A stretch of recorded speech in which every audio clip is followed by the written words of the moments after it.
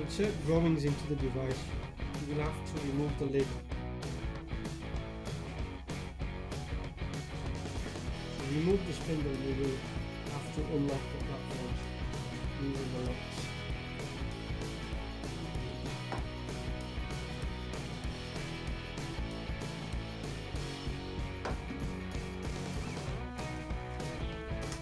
Drawings are placed inside plastic sleeves which are connected to the spindle.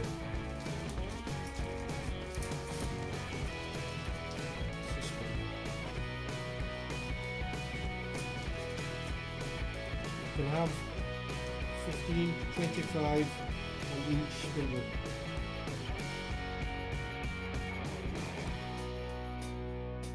To insert the spindle, you connect it to the gear and lock the platform.